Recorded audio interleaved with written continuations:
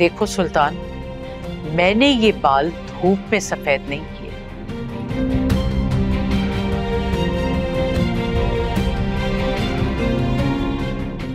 चले ठीक है, आंटी। मान ली मैंने आपकी बात। अलीना मेरी दोस्त है। मैं उससे होटल में मिला था। सो व्हाट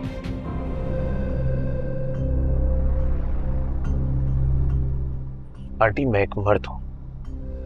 एक बहुत बड़ी फर्म में जॉब करता हूँ। हज़ारों लड़कियाँ मेरी दोस्त हैं, मुझे लोगों से सोशलाइज करना पड़ता है। लेकिन असरा एक हाउसवाइफ।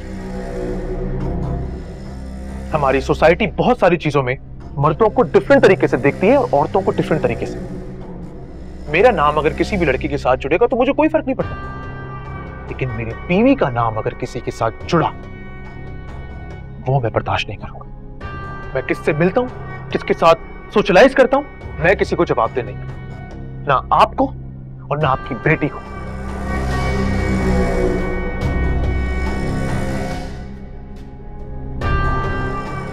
असरा मेरे निकाह में, उसे वही करना पड़ेगा जो मैं उसे कहूँ।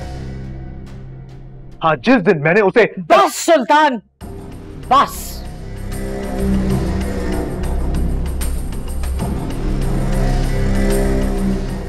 जिस निकाह की वो पाबंद है, उसी निकाह ने तुम्हें भी पाबंद किया है। तुम भी जवाब दे हो। मैंने अपनी बेटी तुम्हें इसलिए दी थी कि मैं उसे खुश देखना चाहती हूँ। हमने आउट ऑफ़ द वे जाकर उसकी ख्वाहिश को पूरा किया। उसे तुम्हें सौंपा। तुमने तो उसे लावारिसी समझ लिया।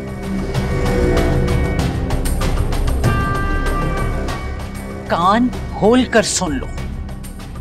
मैं उस तरह की दो कौड़ी की लड़कियों और उस जैसी और लड़कियों के बारे में अच्छी तरह से जान गई हूँ और मैं बात बिगड़ने देना नहीं चाहती और उसकी वाहिद वजह असरा की खुशी है।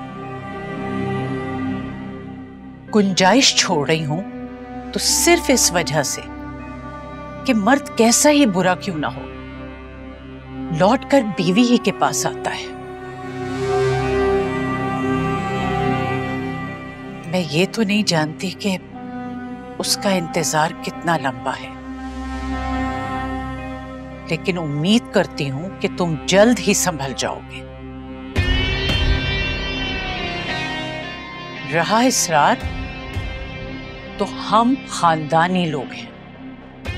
हमारी इज़्ज़त और जर्फ ये गवारा नहीं करती कि हम किसी गैर लड़के को बुलाकर अपनी बेटी से मुलाकात करवाएँ।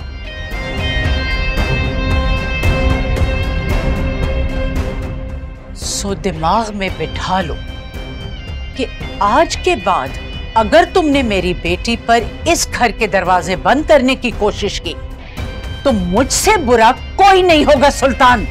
समझे तुम?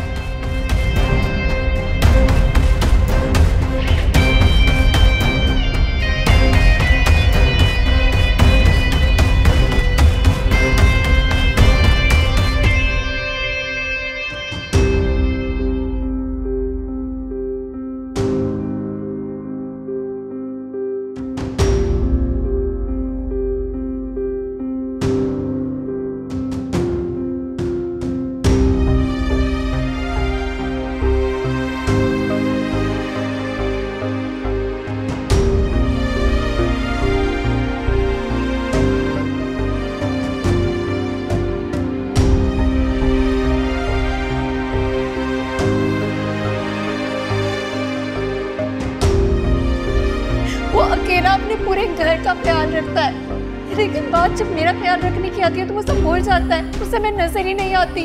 मैं ये सब भी बर्दाश्त कर लूँ। लेकिन मैं ये कैसे बर्दाश्त करूँ कि मेरा शोहर लॉयल भी नहीं है? आप जानती हो उसकी ज़िंदगी के हर कदम पर एक नई औरत खड़ी है। फ्लर्ट है वो। फ्लर्ट है? क्यों? तुमने क्या देख लिया? हमें भी बताओ। अम्मा ठीक कह रही वो ऐसा ही है।